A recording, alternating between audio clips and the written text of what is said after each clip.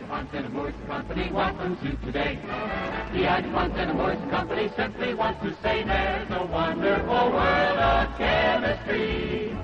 Anywhere you wander, thousands of sights, all pure delight, stretching from here clear to yonder. D.I. DuPont de Nemours Company acting as your host. D.I. DuPont de Nemours Company wishes you the most entrancing hour that there could be where imagination is fancy free in the wonderful world of chemistry. Beginning now, beginning at the beginning now.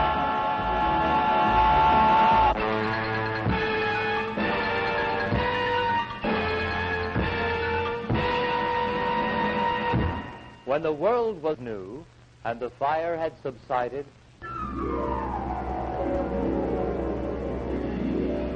when the waters had receded and the earth was green, man appeared. We don't know how long it was before he realized that it was better to be warm than cold and better to be dry than wet. But because he wanted something to fill a need, he thought about it, he experimented, and finally he found the answer. On the day that the first man came in out of the rain, research was born. No, thanks a lot. And now chemistry took somewhat longer to arrive. The ancient Greeks liked to sit around and think what everything was made of. Some said everything was water. Some said air others fire, and still others earth. Well, the Greeks thought a lot, but they never experimented. Then in the Middle Ages, alchemists began trying to turn lead into gold. Oh, they tried every formula they could think of to do it. A two four Uh-huh. and one here. Unfortunately, nothing seemed to work. No matter what they tried, it never came out gold. Oh. Well, is it gold? Peanut brittle. Take three four. yes, well, the alchemists experimented, all right, but they never seemed to think. Then in the 18th century, Antoine Lavoisier discovered the formula for water, named the elements, and turned chaos into science, as he both thought and experimented. But in the middle of his work, Lavoisier was caught up in the terror of the French Revolution, and in 1794, he was put to death.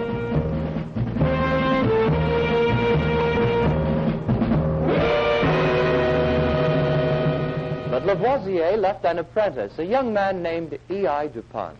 Leaving France, he came to Delaware and established a small powder mill on the banks of the Brandywine. Well, today the company that he began is still serving America, dedicated to bringing all of us better things for better living through chemistry.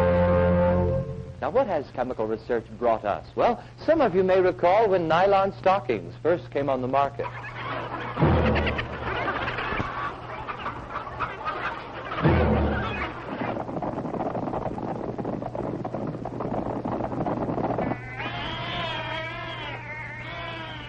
Hello there, Mrs. Weston. Uh, do you remember that? Oh, yes, I remember. you know, they were introduced at the 1939 New York World's Fair, 26 years ago. of course, I was just a child. yes, of course. Well, today there's nylon and everything from fabrics to rifles. Rifles, nylon rifles. Certainly, the entire stock of this handsome rifle is made of nylon.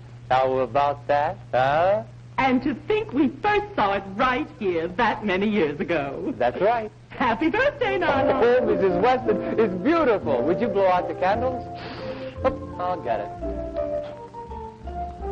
But what did DuPont make before nylon? I can't seem to recall. Well, uh, lots of things. Um, uh, take industrial explosives, which helped in clearing the frontier, creating America's railroads and highways, even in carving Mount Rushmore. You know, chemistry has always done things with a bang.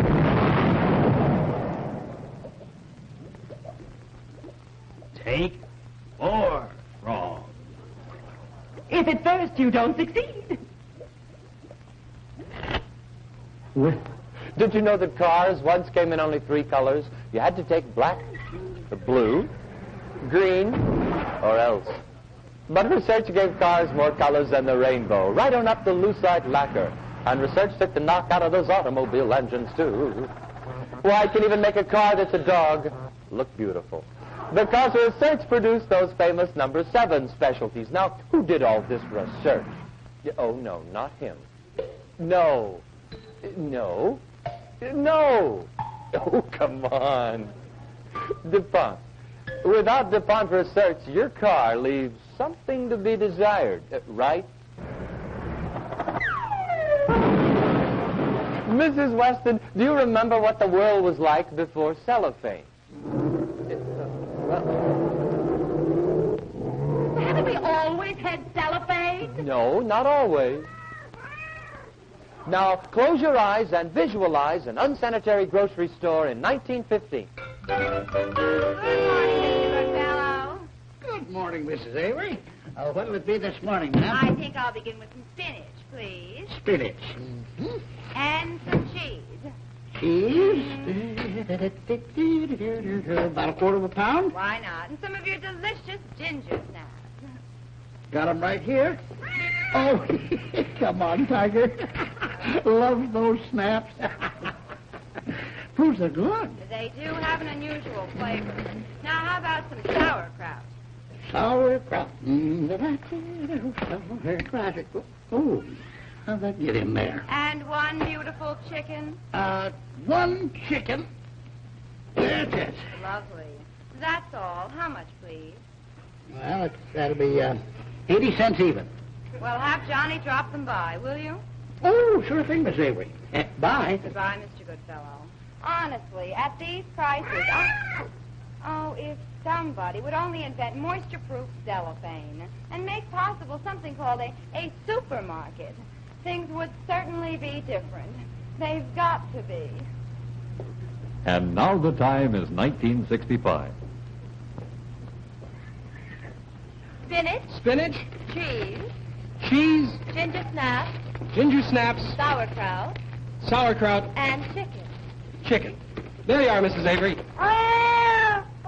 What was that? Yes, there they are. Very same foods, only this time about $8. Some of them wrapped in moisture-proof cellophane, some in other films, but all of them products of chemical research. Have Johnny drop it by, will you? Sure thing. So long. He gave me that cat last week. now let's discuss. it. Uh-oh, Mrs. Weston, I'm sorry. I forgot about you over there. You can open your eyes now. Yeah, I said I was sorry. That's better. Hey, Yes. Now what are we going to do? Well, let's discuss one of the simplest things in the world. My husband. Mrs. Weston, no. Molecules. Oh, yes. I was just going to say, why don't we discuss that? and I'm going to sit down while we do. All right, we'll see you later. Everything in the world, you know, is made up of molecules, and some of the most useful are those that form versatile plastics, like Alathon, Delrin, Lucite, Teflon. Here's what we mean. Oh, my. Molecules. There are plastics in your toaster, in the blender and the clock, in the lamp and in the roaster, on the door and in the lock, in the washer and the dryer, and the garden tools you lend. In your music amplifier and electric fryer, you have got a plastic friend. We can coat a waffle griddle so the waffle never sticks. Be the strings upon your fiddle, even be your fiddlesticks. Be the bristle on your toothbrush and the teeth upon your comb. In a bottle made for squeezing or a tray for freezing, with the plastic you're at home. In your engine and your chassis and the body of your car. From your potter and your brassy to your shower, there we are. in your phone and in your freezer, in your television too. Cables, meters, and connections, these are just selections. Batteries and zippers, these are just a few. Cameras and skylights, these are merely highlights. In the world of plastics, all of us were made for one we wouldn't trade for. All of us were made for you.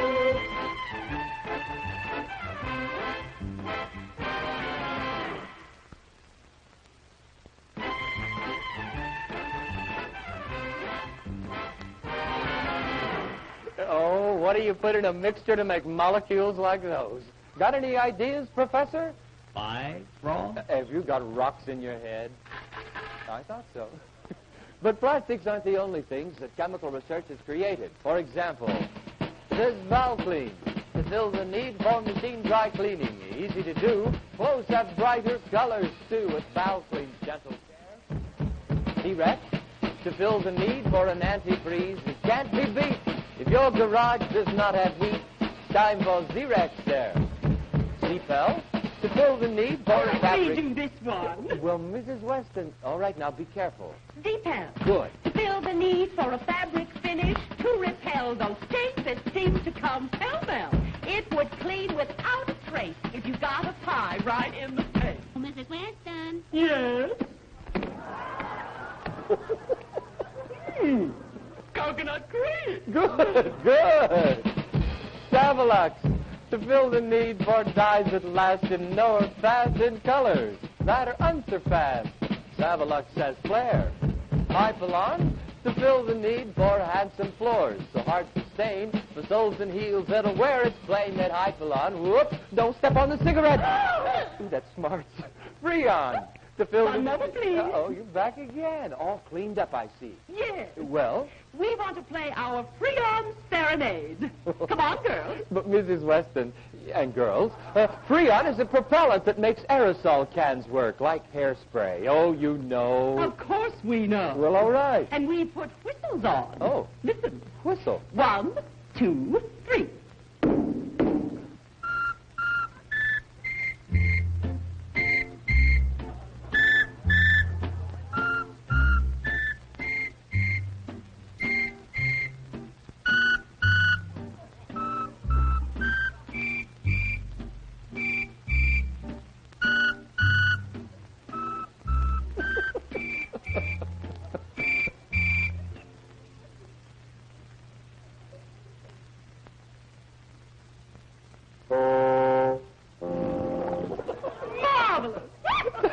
And goodbye. All these products are from DuPont. DuPont, DuPont, DuPont, DuPont. Where Well, there's a want, so there's a... Oh, go DuPont will do ahead. yes. You know, I was supposed to do that. That was fun. Oh, yes. Let's do it again. Yes. All these products are from DuPont. Mrs. Weston, Mrs. Weston. Now you've had your turn. Oh, it's time now to see something beautiful. Oh, what's that? Fashion. Did he say fashion? Fashion. we wouldn't miss it, not for a minute. Come on, girls. Alice the other way? What are we going to do with her?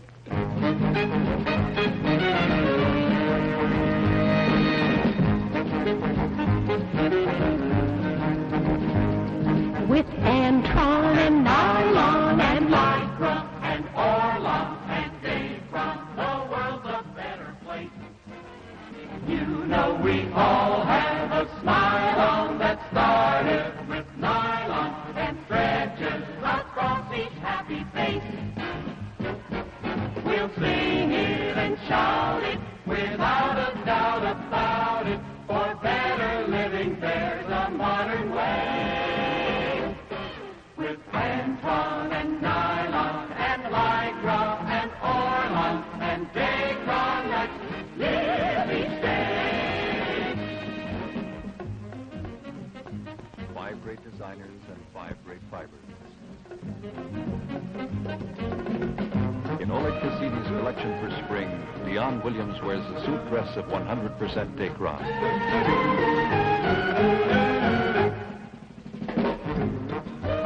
Shirley DeBerg Berg's jacket is a Dacron blend over a swimsuit of Antron.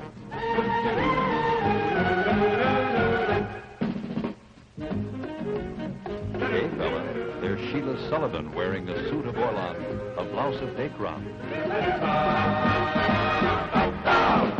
His blazer, slacks, and shirt, all by John Weitz, all with Dacron.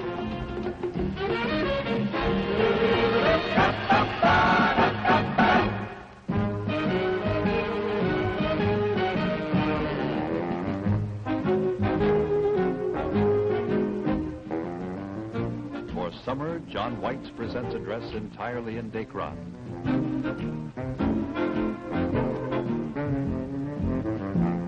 The Ceil Chapman designs include 100% Dacron too.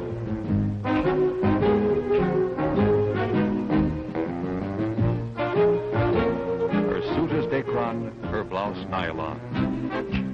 David Carter wears a suit containing both Dacron and Lycra.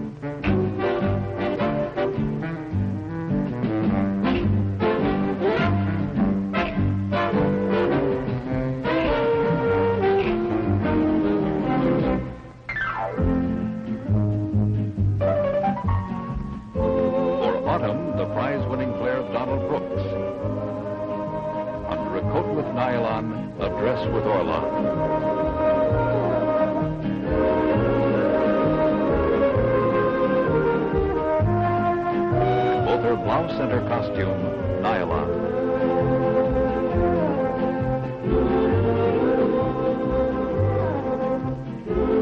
His blazer, slacks, tie, and socks of Orlon, shirt with Dacron. The beauty of Jersey in Orlon.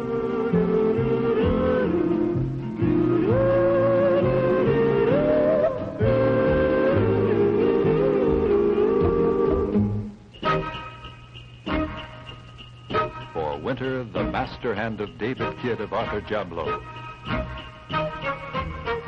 On the left, a coat of nylon over a dress of Orlon.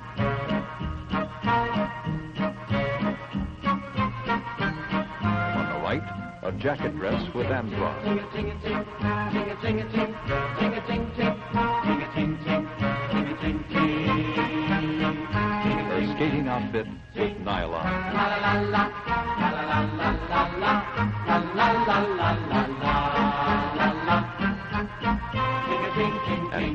John Weitz creates a ski jacket in Orlon over trousers with nylon.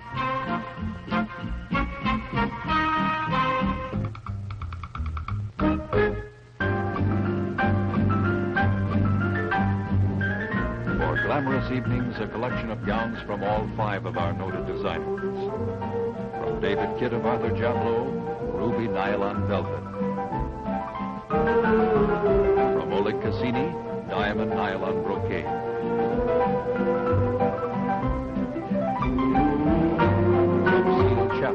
Emerald nylon velvet.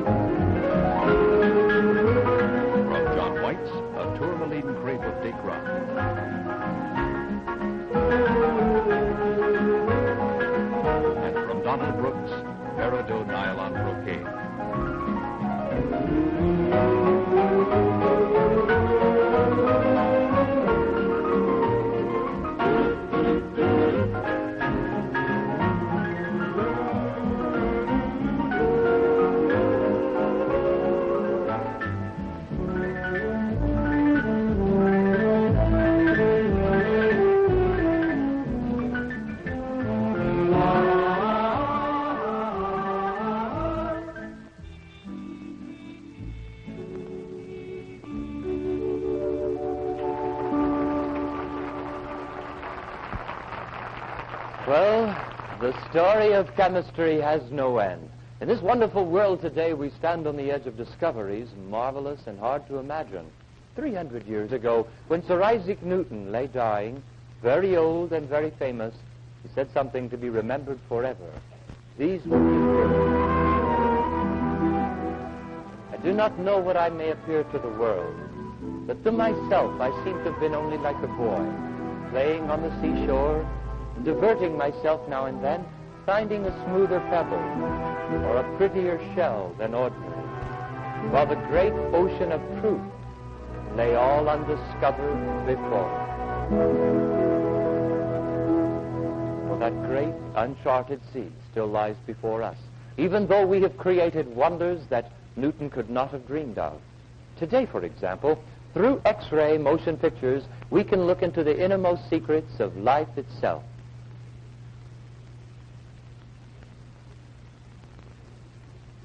And if we want to observe the flight of a hummingbird, such as this one, we can take pictures so quickly that this entire sequence actually lasted only one-fifth of one second when photographed. Now, our speed is 2,500 pictures per second. But today we have a film that enables us to take 10 million pictures every second. How can we answer now when asked, what will tomorrow bring? Mm-hmm. Oh, Professor. Well, one thing tomorrow will bring is lots of Corfam for shoes. The newest and one of the greatest results of chemical research. In a nutshell, we're going to have shoes like we've never had shoes before. Right? Right. What's that everyone's saying? What's that everyone knows? What's that music they're playing? Where's that everyone goes? Down each street, the neatest feet are wearing Corfam shoes.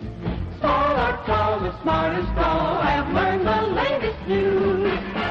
See that vision of fashion, note that flattering flair.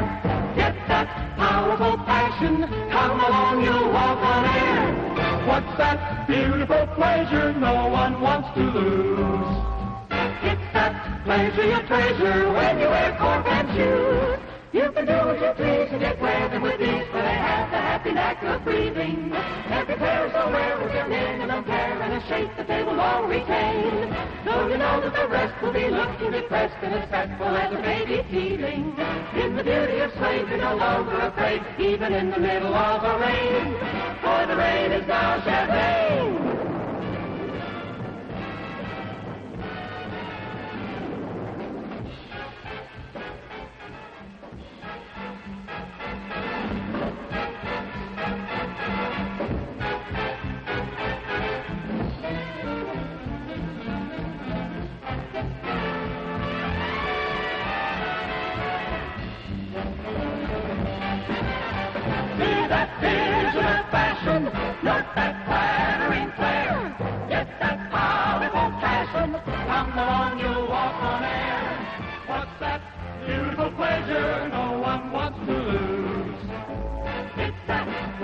Than anybody could when you wear more than.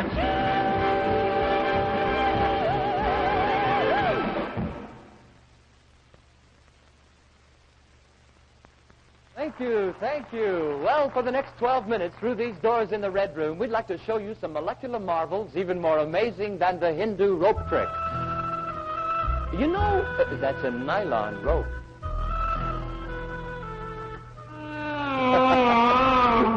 Go, I'd like to say that this has been a six frog production. Oh, my. Well, ladies and gentlemen, my name is Mark McCrary. On behalf of our company, Brent Hickman, Ted Sprague, Pat Stevens, and Joyce Murray, we'd like to thank you for being a wonderful audience.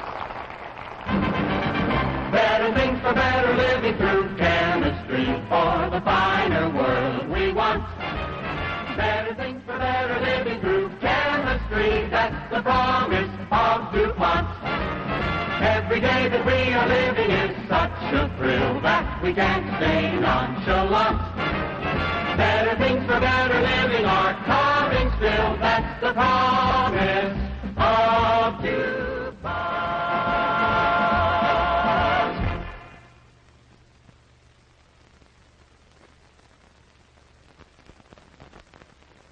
Ladies and gentlemen, welcome to the wonderful world of chemistry. Good evening, everyone. My name is Dick Krischer. On my right is David Doucette, and on my left, Hal Holden. And the gentleman in the quiet coveralls is Stan Warno, who prepares the chemicals and makes this whole thing possible. All set, Stan? All set. Thank you. For the next few minutes, we'd like to show you some of the magical things that chemistry has learned to do with molecules. Now, everything you will see will involve things that never existed before the chemist created them for us in the laboratory. Safety glasses, please, gentlemen. Now, to fill the need for a cooling substance for use in home refrigerators and air conditioners, chemistry created something known as freon. In its liquid form, which we have here, it exists at a temperature of 100 degrees below zero.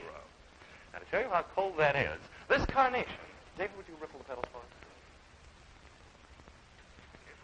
When dipped into freon, is instantly frozen solid.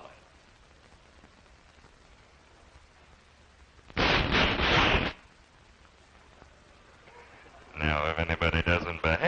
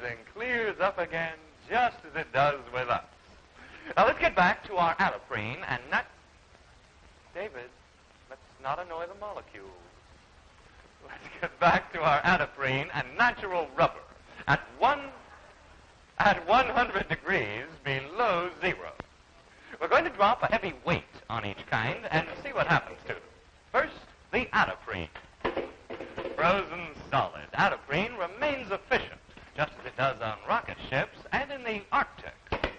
But what about ordinary rubber at the same temperature?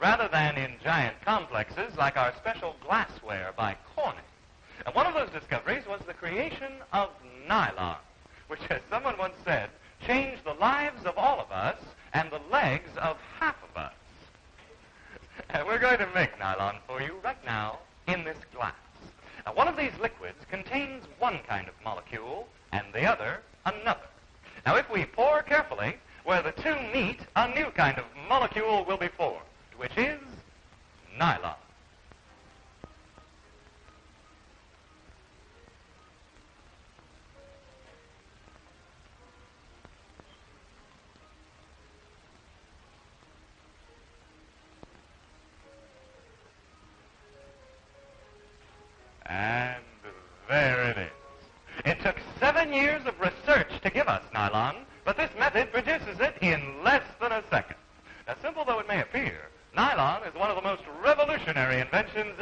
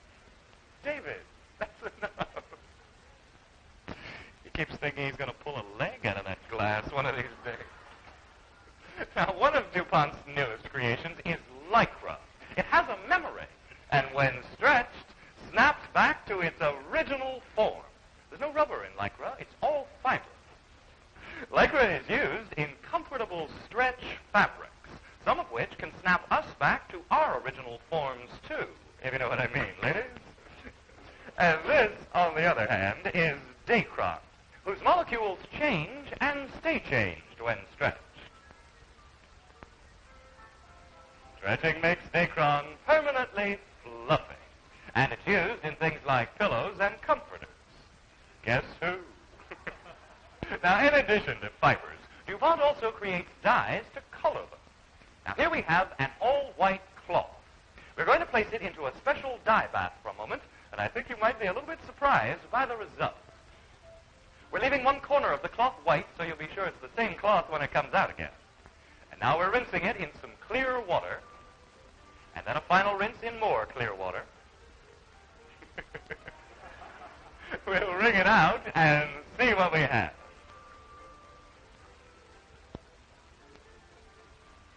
there. our vat contains four different dyes, and our cloth is woven of four different fibers. Each fiber accepts only one of the dyes mixed together in the solution. Now, we began our demonstrations at a temperature of 100 degrees below zero. But now, let's examine our mastery of something very, very hot. In our furnace, we have placed a piece of TD nickel, which we have heated to the temperature of 1,800 degrees Fahrenheit. This new alloy will be used in jet engines hotter than even 2,000 degrees. But I'm going to hold it now in my bare hand, protected only by a thin sheet of Tipersul, a most unusual insulating material, only one-eighth of an inch thick.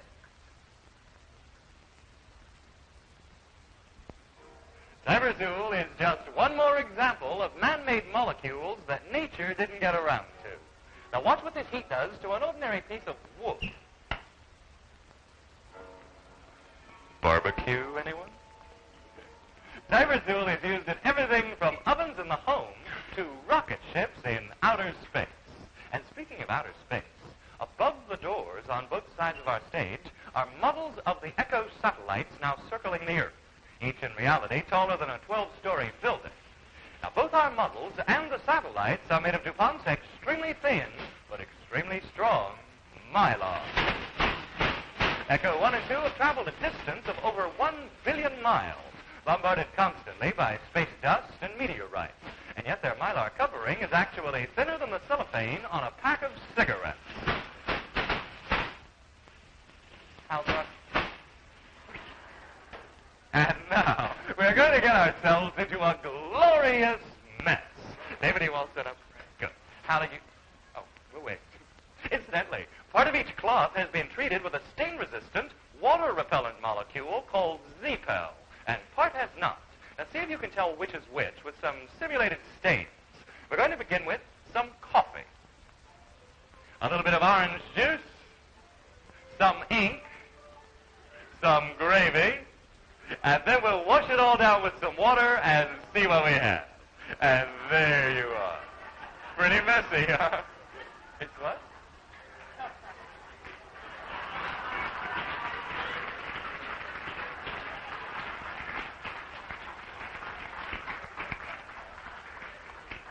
You really know how to hurt a guy, don't you, Hal? Come on. For stainless style, the Zepel molecule resists them all, and it's in the fiber to stay. We'd like to show you now some molecules that have been trained to change color on command. Now, we're, we're going to begin with a very dark blue, and we can take that color completely out. That's better. And then we can change it to something else, and change it again. Or we can even go right back where we started, dark blue. Very nice. Flawlessly done. Thank you, gentlemen. Thank you. And even more surprising are molecules that have been taught to tell time. We're going to mix together two clear liquids. And a few seconds later, you're going to see something so startling you can almost hear it happen. Now, don't take your attention away, not for a single instant. First, on my right. And don't even blink on this one, it'll pass right by. And now, on my left.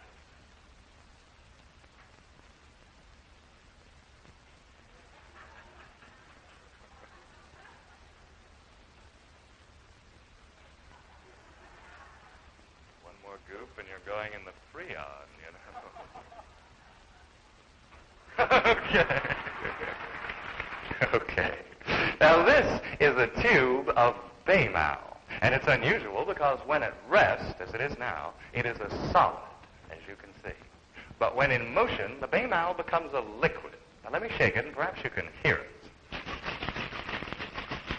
There you can actually see it moving back and forth in the tube as a liquid.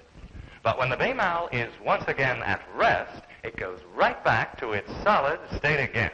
And this principle is used in lucite paint. David, would you please dip your brush?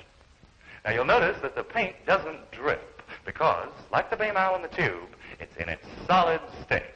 But when one paints with lucite paint, The motion of the brush turns it into an easy flowing liquid. Now this is a piece of lucite plastic bent into a pretzel shape, and it has the unusual ability to conduct light. I'm going to take this small flashlight and direct a beam of light right here, and you'll notice the light travels all the way through the rod and comes out the other end again. Now there you can see the light passing through the lucite rod, and there it is coming out at the other end. Now embedded into the walls all around us are the ends of nearly 200,000 small lucite rods like this. We're going to conduct light through them right now to show you three separate effects. First, contrails.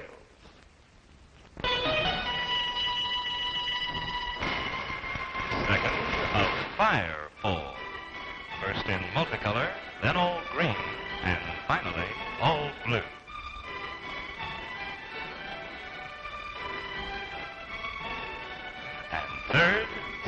Famous DuPont trade names. See how many you can recognize.